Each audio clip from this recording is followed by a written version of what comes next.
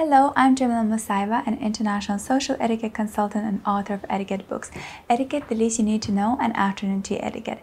If you would like to order my books, please make sure to do so directly through my website. I'll link it here as well down in the description box below. If you're someone who is new to my channel, here I talk about etiquette, soft skills, self-development, and sometimes fashion and style. So if you're interested in all of that, make sure to subscribe and hit the bell button so you get notified every time I upload a new video. And if you are a returning viewer, I am delighted to see you back on my channel. Also, if you're someone who is adamant about etiquette, you can join my Patreon Etiquette Movie Club where every month I analyze etiquette lessons from a given movie. So far, I've analyzed over 20 different kind of movies. So by joining my Patreon Etiquette Movie Club, you can view all those movies at once. Also, if you want to enhance your knowledge of the Western formal dining etiquette, you can purchase my online course, which is available on my website and has subtitles in Spanish, Arabic, and English. Thank you so much for being so patient with my introduction, and I will not make you wait for any longer and tell you about today's video based on what I'm wearing right now and where I am you can tell that I am at Tiffany's and today's video is about jewelry capsule collection. So if you've been following me for some time on my Instagram, you know that I'm a huge fan of Tiffany's. I have uh, quite a few items from the house in my personal collection and I actually fell in love with the house by watching Breakfast at Tiffany's as a little girl. Uh, I has, have always been a fan of Audrey Hepburn and I actually did a really remake of the movie and that video is available both on my Instagram as well here on YouTube. I have always dreamed of reliving that moment and really um, that house has become so iconic and so entrenched in my memory as a little girl. So being able to do this video right now here seated at Tiffany is a truly a dream come true for me. So in collaboration with Tiffany, I will show you some of my personal favorite items uh, in the house and what would be the pieces that I think one should invest in in creating the perfect, elegant and timeless jewelry, jewelry collection. If some of you have seen this post on Instagram that I did of what would be my go-to a very curated jewelry collection uh, and I have shown some of these pieces on Instagram posts as well. I just wanted to take this time and show you with the video how these items look in real life on me. First things first, I cannot imagine a perfect jewelry collection without studs. Uh, so these are the studs that I'm wearing currently and I think they look amazing not just with everyday wear with like a plain white shirt and jeans and sweater. They look beautiful with a long black tie dress like this.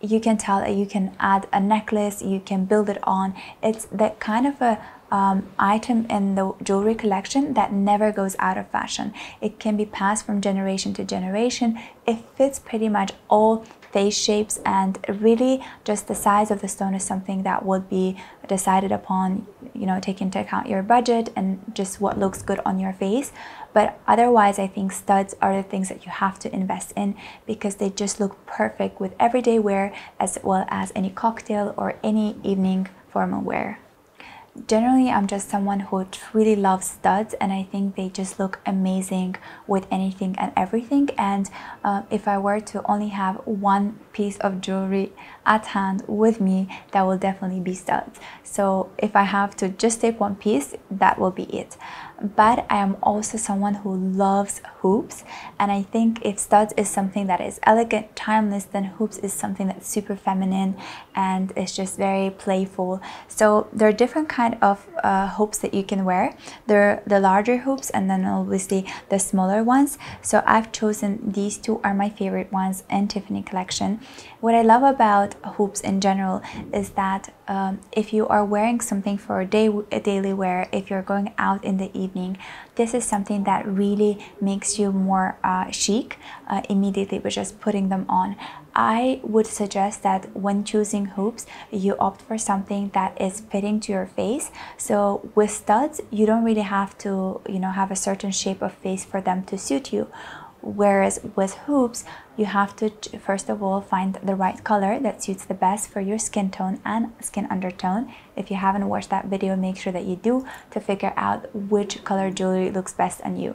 You have to figure out the, the color of it as well as the size of it. Some hoops come in a larger size, others are smaller, some are more round, other ones are longer, elongated, they look more like oval shaped. So you really have to try them on to understand what looks best on you. With studs, I would suggest investing into diamond studs because again, as I said, they never get out of fashion. They can be passed from generation to generation. With hoops, again, if you are someone who feels comfortable wearing diamond for daily wear, then I would suggest investing into diamond hoops because they always elevate any kind of look. If you're wearing a black turtleneck, if you're wearing a sweater, anything just looks amazing with, uh, with diamond hoops. Uh, but if you don't feel comfortable with diamonds, then you can of course find something that doesn't have any diamonds diamonds on and just looks perfect with the daily wear. Uh, with the earrings, whereas I think studs hoops are something that is a must-have in your collection and they as i already said it they can be worn you know for daytime wear for evening wear another piece of my favorite tiffany earrings are these hanging ones. You've probably seen this in one of my instagram posts but those ones were with sapphire and these are aquamarine which is actually one of my favorite stones. I love how i love just any shade of blue but light blue is my favorite one. And i think at these piece of earrings they actually uh, are such a memorable one and the ones that really stand out uh, it's very um, you know very rare that you see this kind of uh, solitaire eardrop uh, kind of shaped with a beautiful aquamarine stone. And again, I think this is a piece that could be worn by my granddaughter and this is always going to be, you know, the iconic Tiffany piece. Um, and it's very much uh, resembling the color of the house as well. Uh, and so just if I were to invest into a piece of earring that I could wear, you know, for evening occasions with a beautiful black dress, then that will be definitely this pair. The second item in my ideal jewelry collection would be this Victoria tennis necklace. I fell in love with it the first time I saw it. I named it my dream necklace. It's truly my dream necklace. I think it just makes any decollete look so much better. You can wear it again with a formal wear like this or you can wear it for every day with a nice uh, white plain shirt. You know, maybe you have a turtleneck and have it on top. It really depends on you know, your personality and if you can uh, wear diamonds during the day. Uh, probably with my work, I try not to wear diamonds during the day, but uh, it's something I think any woman um, should have in the collection uh, just so that in case it's an upscale party during the day and they want to elevate their look, then this necklace should definitely be in the collection. And it just looks perfect on any neck and any decollete because um, it just sits really right on the chest. It doesn't you know hang down. So whatever you're wearing any cut be it an oval shape be it a triangular shape the neck will be exposed and this necklace would be seen if this necklace is my ultimate favorite dream necklace, then the second dream or the second favorite, so to speak, uh, necklace would be either solitaire, which is a one diamond stone uh, necklace that looks so nice, so elegant, um, so just really subtle on you and just really uh, makes you look very dainty um, or it would be the Victoria Collection Leaf uh, Tiffany and I think it looks like a little petals of flower uh, which adds this little um, romance to the whole look. Uh, I really love how it looks just worn alone or maybe paired with something else, maybe a hanging uh, key. I think it's just the kind of necklace that looks great alone but could easily be layered if you're someone who is into layering. And of course, if I were to layer it with something, if we're talking about Tiffany's, we can never forget the iconic Tiffany key necklaces. And what is beautiful about these necklaces is they are long enough and they can be worn both in front, over the shirt, over a bulky sweater, over a nice blouse, or you can actually turn it around and wear it if you have an open back dress and just lay it on flat on your back and just have this beautiful jewelry piece on your back. So what I love about keys is that this is an iconic item in the house and again as something that I've already mentioned this can be passed on from generation to generation and it is something truly uh, uh, that the house is very much recognized for. Now let's move on to my bracelets. Here I'm wearing a Victoria bracelet that is the iconic for the house. It's usually known as the bride collection because a lot of brides opt for this um, diamonds uh, plain so plain. It's not so plain because it has diamonds but very just simple flower beautiful very feminine and elegant designed uh, bracelet. I personally really like it because i think it looks just perfectly great for evening wear but also paired with a nice pair of watch uh, it could really elevate the look of the watch and also add a little bit of that uh, extra something to the entire look. Uh, it also again depends on your you know profession, on the personality, or uh, and things like that. Whether you feel comfortable wearing diamonds for everyday wear or not. Uh, but if you don't, then another neck, another bracelet that looks really great is this Atlas bracelet. That's a mix uh, with really fine diamonds, and it's a recognizable piece in the house. Atlas collection gets repeated over and over again, and it is something that is in a way subtle because if someone is looking from far away, they can't really tell what bracelet you're wearing. But at the same time, you know, if someone is up close um, and they know the collection, they will know it's Tiffany.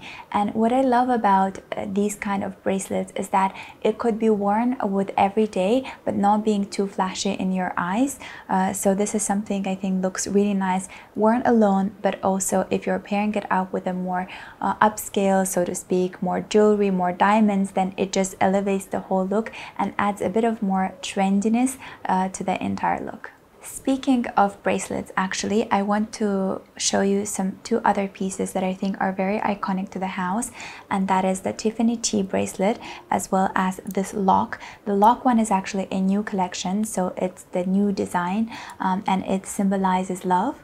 Uh, and I think these two look really great paired together, but also just these two bracelets are now the upcoming eight uh, bracelets of the house uh, so if you're someone who loves trendy things who loves you know being in fashion then I think these two bracelets are the ones that are worth investing in now to wrap up the collection, I've talked about earrings, necklace and bracelets. Now let's talk about my favorite ring pieces. So of course, when we talk about rings, when we talk about Tiffany, the first thing we think of is actually an engagement ring, a marriage wedding band. So of course, I'm just like anyone else, very much uh, in love with Tiffany rings.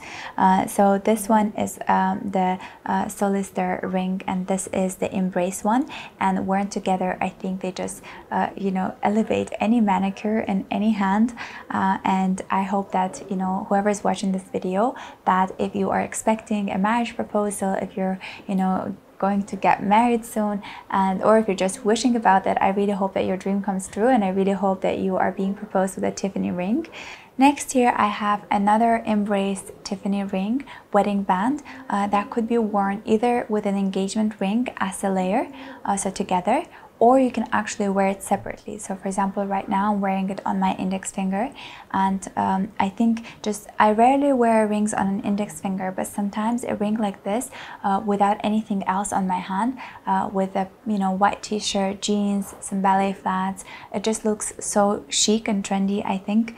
Um, and sometimes I do want to add that chicness to my whole look and I would opt for placing it on my index finger. Um, again, this is something I think is more trendy uh, than elegant, but I still find it very nice uh, and it looks really uh, feminine on the hand.